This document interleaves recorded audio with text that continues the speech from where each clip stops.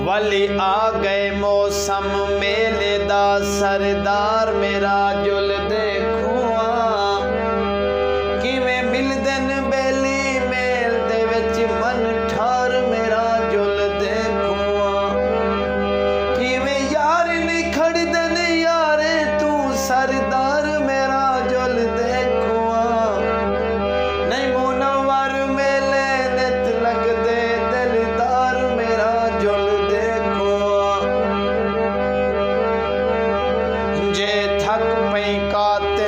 ਕਾਤਲ ਕੱਢ ਘਿਨ ਨਾ ਜਲਦੀ ਕਰ, ਮੇਰਾ ਕੋਈ ਕਹਿ ਨਹੀਂ।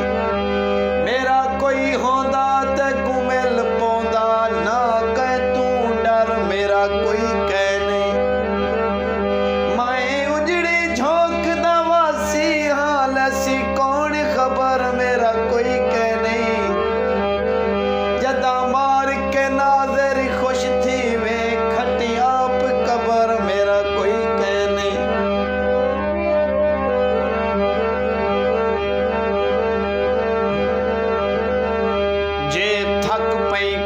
ਕਾਤਲ ਸਹੀ ਕੱਢ ਘਿਨ ਨਾ ਜਲਦੀ ਕਰ ਮੇਰਾ ਕੋਈ ਕਹਿ ਨਹੀਂ। ਮੇਰਾ ਕੋਈ ਹੁੰਦਾ ਤੇ ਕੁਮਿਲ ਪਾਉਂਦਾ ਨਾ ਕਹਿ ਤੂੰ ਡਰ, ਮੇਰਾ ਕੋਈ ਕਹਿ ਨਹੀਂ। ਮੈਂ ਉਜੜੀ ਝੋਕ ਦਾ ਵਾਸੀ ਹਾਂ ਸੀ ਕੌਣ ਖਬਰ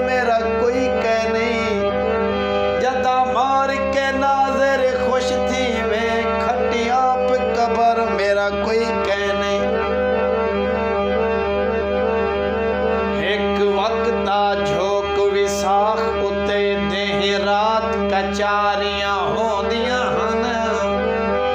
ਆਏ ਕੈਦਾ ਆਦਰ ਥੀਂਦਾ ਹਾ ਚੁੱਲ ਨਾਲ ਪਥਾਰੀਆਂ ਹੁੰਦੀਆਂ ਹਨ। ਕੋਈ ਪਾਰ ਦਾ ਸਦ ਵਾਲਿਆਂ ਦਾ, ਸਾਡੀ ਪਾਰ ਤਿਆਰੀਆਂ ਹੁੰਦੀਆਂ ਹਨ। ਦਰਿਆ ਕੋ ਅਸਗਰ ਠਿਲਣ ਕਿਤੇ ਸਾਡੇ ਨਾਲ